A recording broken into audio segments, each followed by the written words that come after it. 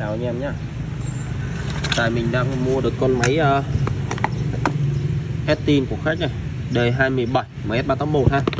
Tình trạng mình kiểm mình rã rồi nhá mình kiểm tra. Những cái máy này thì anh em đừng nói chuyện mình không bung ha. Là mình không bung thì mình không được định định giá. Tại vì giá trị nó cao. Thứ nhất là vậy thứ hai là mình không khánh ba khách bán không bị hớ. Và như mình là thợ cũng không bị hớ luôn ha.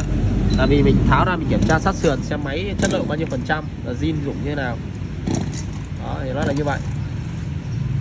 Thì hiện tại đây thì à, đồ đạc là zin hết. Lam lam thì thanh lam cũng hơi kém một chút này. Đó, thì nói chung là cái này thì đơn giản thôi. Xích thì nó khá ok. Áo gió thì khá là đẹp để 27 đây cái này kém này.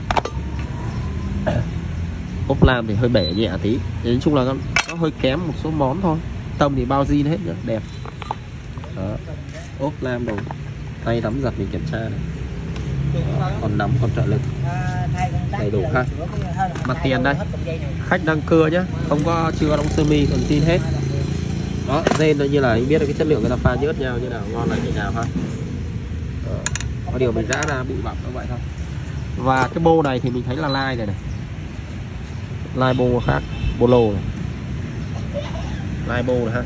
Đó thì hầu như là còn zin hết để có lai bô và zin, nhưng mà nó kém. Những cái bộ e này thì lủng mấy lỗ, chủ thớt người ta dám mà thôi. Nó này thiếu một miếng cao su đây, nó hơi bể nhẹ, nó là như vậy. Đây. lam thì vẫn là lam zin, mất chữ thôi. Còn lam đầu nó tinh còn sái ok. Đuôi thì bị vỗ mấy cái nó khuyết cái này, đó là như vậy. Thì tùy. Nó phải để như này thì mình bán cho em giá khác, còn nếu mà thay cái làm đẹp hơn đây chẳng hạn thì giá nó sẽ khác anh em nhé cái đây mình quay cho anh em xem. Cái con này thì là tổng quan hết nhé nòng đời 217 đầu hàng nhé đời 217 giống như đời 382 này nó có kiểu nòng bên đen. Đó lai cái bô thôi. Máy thì chất. Thùng xăng thùng đầu không bể vỡ gì ha. Chức năng thắng xích mình nghĩ là còn nguyên đấy. Không có lỗi nào. Đó, làm đẹp